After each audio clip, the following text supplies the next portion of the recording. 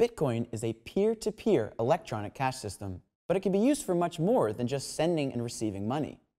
Bitcoin's features are revolutionizing entire industries by cutting out third parties, reducing costs, and increasing transparency.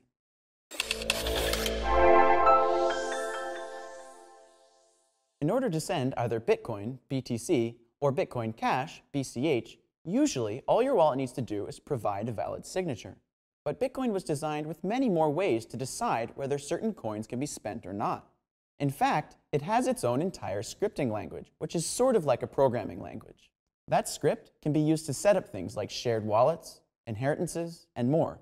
Bitcoin Cash has added even more functions that allow for things like recurring payments and non-custodial financial services, like those provided by local.bitcoin.com, where we can act as a mediator for cryptocurrency trading without ever holding the funds involved.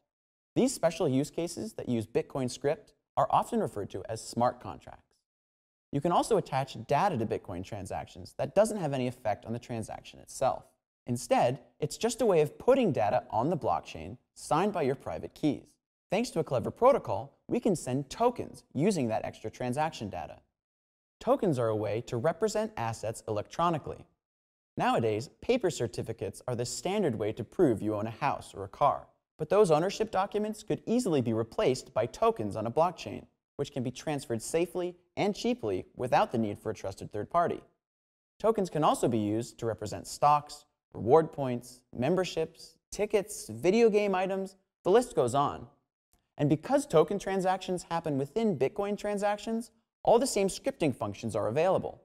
At least on Bitcoin Cash, that opens up possibilities for entire stock markets, futures markets, and other financial services to be completely replaced with a cheaper, simpler, and more accessible blockchain-based alternative. To learn more about Bitcoin and Bitcoin Cash, watch one of these videos or visit us at bitcoin.com.